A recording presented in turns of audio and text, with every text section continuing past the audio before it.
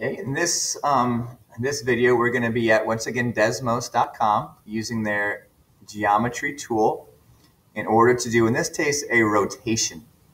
Okay, so I'm going to turn the grid on so I can see the grid there. Nope, show grid. Okay, I'm going to put some axes on here using my lines. Okay, so here's going to be your y-axis. Here is the x-axis. I'm going to make it like this. Okay, and now I'm going to make a little um, polygon. So this is going to be a triangle. Here's my triangle there. Okay, we'll connect it with some segments. Okay, so use the segment tool and click on each point twice because one point starts and one point ends. Now I'm going to label, how about this one, this point, come here point, label you A.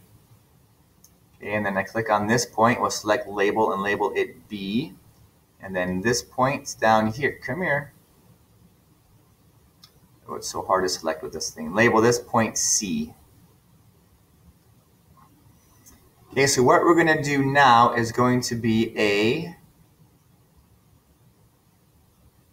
um, let's do a 90 degree counterclockwise rotation. Okay, or with the origin as your center of rotation. So this is going to be your center of rotation here, your origin. Okay, so we have the point A is at 1, 2, 3, 4, 5, 6, negative 1. Okay, B is currently at the point 2, 1, and C is at the point 1, negative 3. Okay, so when we rotate this, this thing counterclockwise, that, that goes this direction, rotating it to the left, we do a couple of things with your points. Number one, we switch your x and your y, and then you make your x value the opposite. So if this point were at Uh, 6, negative 1, it would end up at 1, positive 6. 1, 2, 3, 4, 5, 6. Oh, that's going to be too high.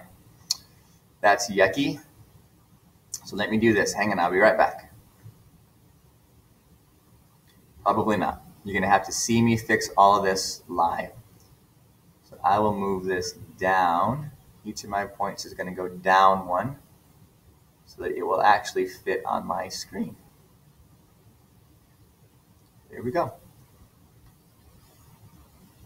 Guess those are staying there. This is staying here too. So now my points will be fine. Um, negative uh, six, six negative one becomes one positive six okay, when it rotates up this direction. Um, let's see, 2, 1 will become negative 1, 2, because the x and the y switch positions, and then the x becomes negative. And 1, negative 3 becomes negative 3, 1, and then positive 3, 1 will end up right here. Okay, so that's the way that these things work. If it is a 90 degree rotation, okay, in a counterclockwise way. The x's and the y's switch position. So what was negative 1 comma 6, right, that's switching positions, now becomes positive 1 because the x coordinate becomes negative, the opposite of what the x coordinate used to be. Okay, and then B was um, switch positions, right? Your x and your y change positions, but then the x becomes negative. So negative 1 comma 2 ends up there. And C, they switch positions. So negative 3 and positive 1, they switch positions. And then the x becomes negative. So you take away the negative if it's already a negative.